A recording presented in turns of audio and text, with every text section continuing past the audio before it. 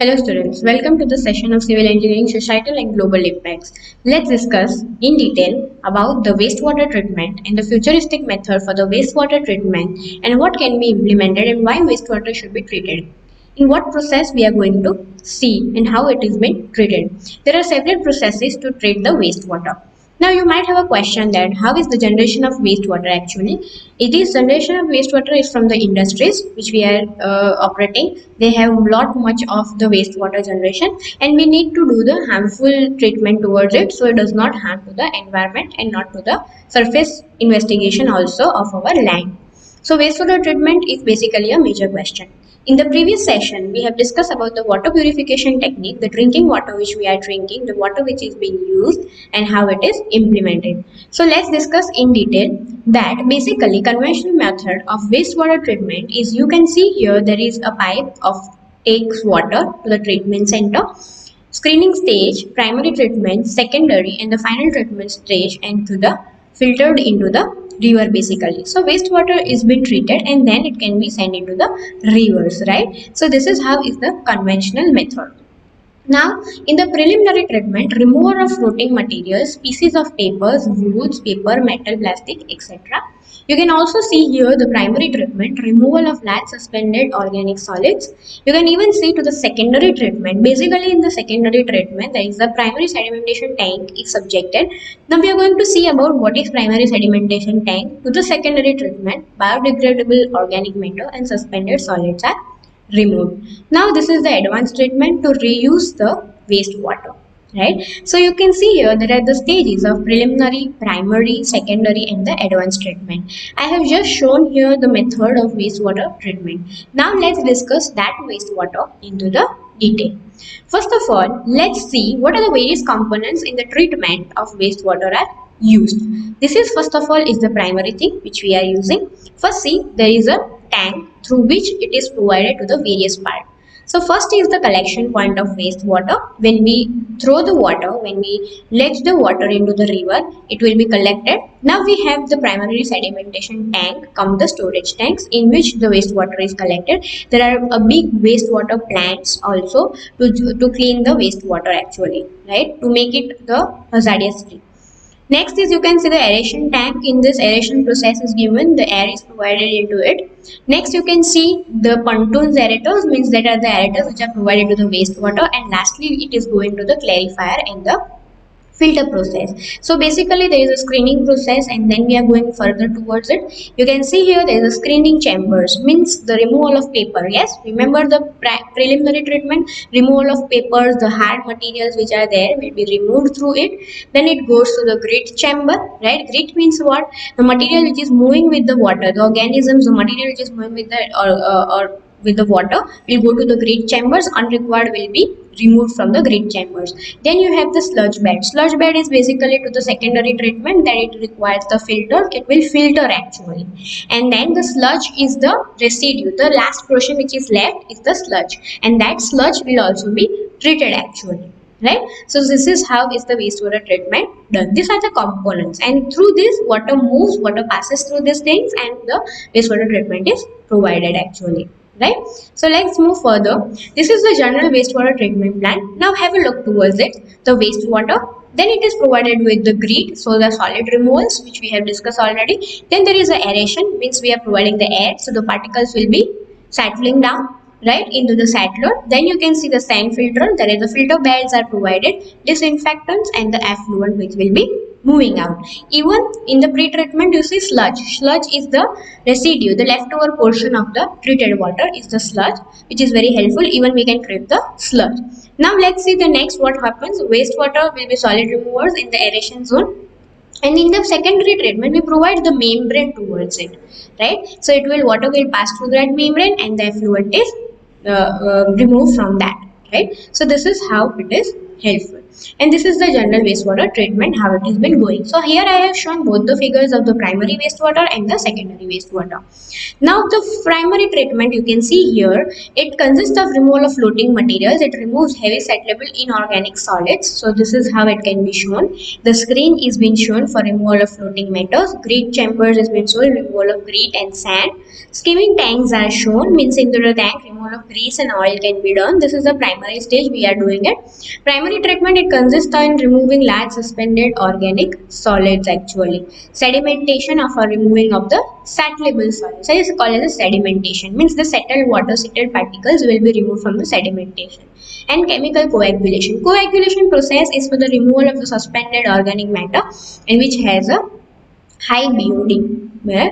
What is BOD it is biological oxidation process right? So this is how is the chemical which is provided into it to get the removal of the hazardous material and the harmful organisms and organic matter from it. So this is how is the primary treatment preliminary treatment right and the sedimentation. So this is the general wastewater treatment plan and this is the primary treatment actually Next, we are moving to the primary, then we are going to the secondary thing. What is secondary actually? You can see here the raw water. We are providing the aeration. We have the clarifier and the settler. That portion from the general, that portion from the general is actually having that, right? So this is of the secondary treatment.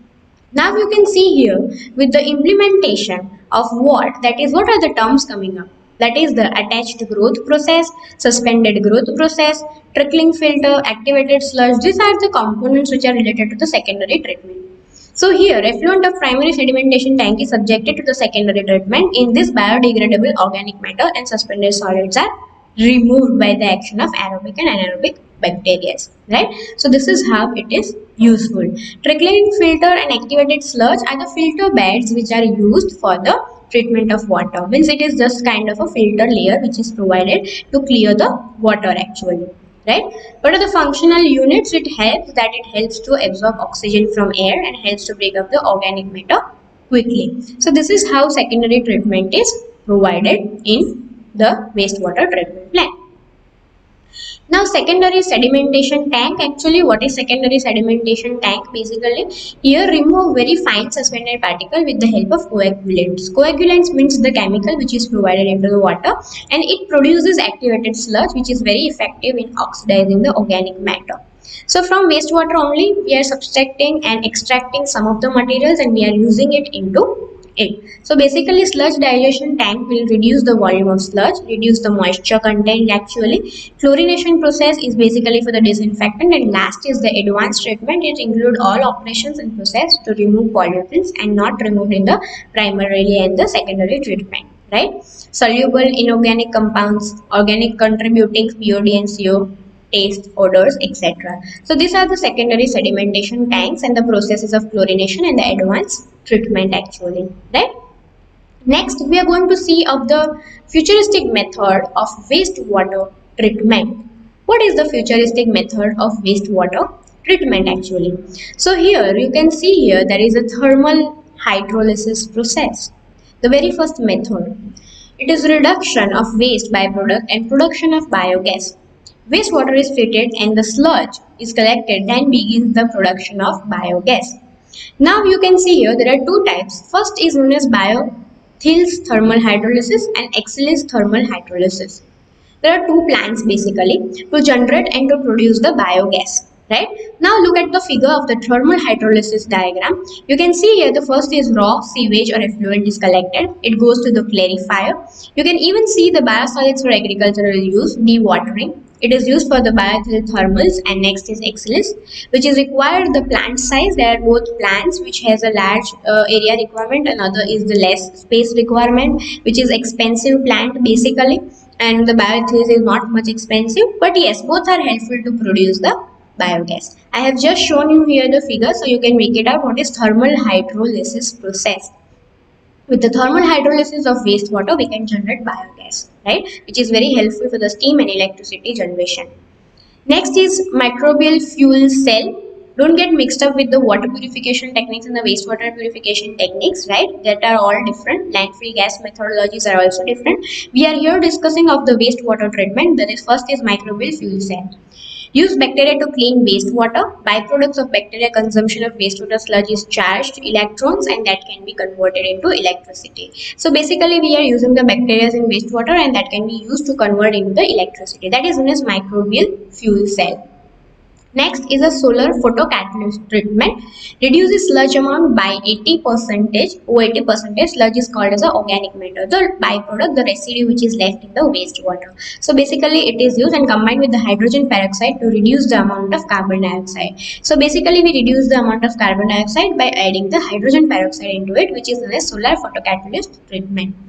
Next is integrated films, fixed films activated sludge system, addition of growth media film which increases the real estate for bioreaction in the tank actually. It is a film layer which is provided that will reduce the wastewater harmness and hazardous things and it will remove the things. That is a membrane aeration is provided. The membrane, permeable membrane or the membrane is provided into it. The one layer is provided into the wastewater. Last treatment you have heard about is moving bed biofilm reactor. Film is not fixed but suspended in the aerobic tanks actually. Film fixed that does not require sludge to recycle back to the unit. So these are the futuristic wastewater treatment plants which are used. Basically thermal hydrolysis is much more into the usage because it will help in the large space in the small space. It might be expensive in the initial times but yes it is helpful to produce biogas so it will be helpful in the near future for the generation of steam and electricity actually. So this is how we are using for the wastewater treatment. Integrated film and the moving bed film, uh, biofilm reactors are basically costly so it requires much of the innovations into it. Then only we can apply that things basically. So this is how actually it has been used. And futuristic methods are very helpful for the wastewater treatment because generation of wastewater is very high and we need to think about it. So this is all in the session of wastewater secondary primary and tertiary treatment. Basically you have cleared yourself that how is wastewater collected at what stages wastewater is being uh, cleared right? So in the first sense we are going to I, I would like to revise you here the process because it is important. And the very first is the preliminary treatment. We just remove the paper and the solid waste from it. In the next is the primary treatment. In that it moves through the grit you have remembered the grit in the general water uh, general wastewater treatment plant figure which i have shown. From that it will remove the insoluble particles and even the hazardous things which are not going because we have kept the sieve Sieve means we have kept the things which through that it should not pass because it is not required in the treatment. Then we are moving to the sedimentation tank. Then we are moving to the secondary sedimentation tank. Into that we are providing aeration process means that microorganisms will be removed. The non-required thing will settle into the water at the uh, lower surface and we can remove that even we provide the membrane in the aeration filter right?